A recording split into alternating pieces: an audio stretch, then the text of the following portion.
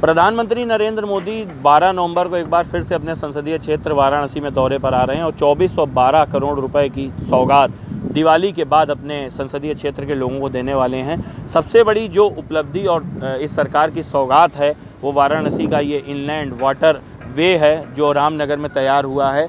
ये आप देख सकते हैं, मल्टी मॉडल टर्मिनल है, जो लगभग 206 करोड़ रुपए की लागत से तैयार किया गया है, जिसका उद्घाटन प्रधानमंत्री नरेंद्र मोदी को करना है। ये गंगा का इलाका है, जो एकदम गंगा के ऊपर बनाया गया है। ये पिलर्स जो है, ये गंगा के ऊपर बनाकर बनाए गए हैं।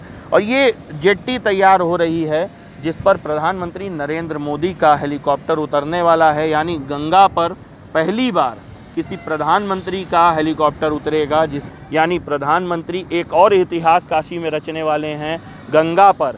किसी प्रधानमंत्री का पहली बार हेलीकॉप्टर उतरने वाला है और इस 206 करोड़ की बड़ी परियोजना के साथ 2412 करोड़ रुपए की परियोजना की सौगात अपने प्रधानमंत्री संसदीय क्षेत्र को देंगे और इतिहास में एक और बड़ा दिन दर्ज हो जाएगा।